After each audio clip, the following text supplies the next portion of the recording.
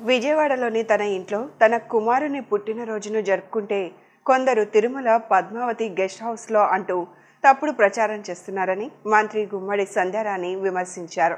ఆ ఏడుగండల వాడిని పూజించే వ్యక్తిగా ఒక భక్తురాలిగా తాను చెబుతున్నానని ఇలాంటి విష ప్రచారం చేసేవారిని ఆ దేవుడు క్షమించడని సంధ్యారాణి స్పష్టం చేశారు.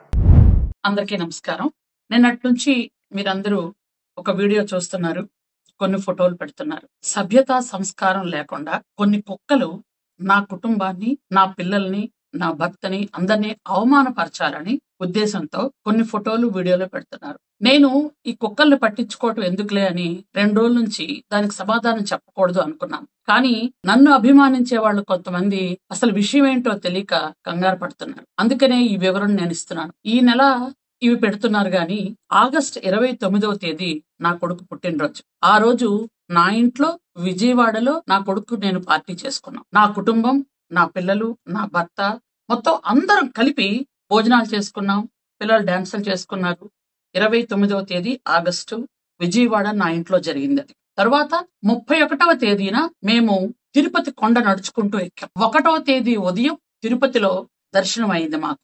ఆ రోజు రాత్రి మళ్ళీ విజయవాడ వరదల కారణంగా నారా చంద్రబాబు నాయుడు గారు పూర్తిగా కలెక్టరేట్లో ఉండిపోతున్నారని నైటే నేను ఇక్కడికి వచ్చేసాను అయితే తిరుపతిలో నేను పద్మావతి గెస్ట్ హౌస్లో ఉన్న అసలు సందర్భాలే లేవు. నేను కానీ నా కుటుంబం కానీ నా అనుచరులు కానీ నా స్టాఫ్ కానీ ఎవరు కూడా పద్మావతి గెస్ట్ హౌస్లో లేవు. అయినా ఒక అమ్మవారిని కొలిసే వ్యక్తిగా ముత్యాలమ్మ తల్లి జాతరను జరిపించే వంశంలో పుట్టిన ఆడబిడ్డగా నేను చెప్తున్నాను. తిరుపతిలో అలాంటి పిచ్చి పనులు పనికిమాలిన పనులు ఎవరు చేస్తారో మీ అందరికీ తెలుసు. నిజంగా అట్లాంటి పనులు చేసినా ఆ దేవుణ్ణి అవమానించినా ఇంతకు పూర్వం ఏమైపోయారో మీ అందరికీ తెలుసు. నేను అమ్మవారిని కొలిసే వ్యక్తిగా ఆ గోవింద నామాలు జపించే వ్యక్తిగా చెప్తున్నాను. నిజంగా ఈ వీడియోలు వైరల్ చేసిన వాడు ఎవడో గాని ఆ కుక్కలు ఎవరో గాని మీకు నిజాలు తెలుసో లేదో నాకు తెలియదు భగవంతుడు మాత్రం మీకు చూపి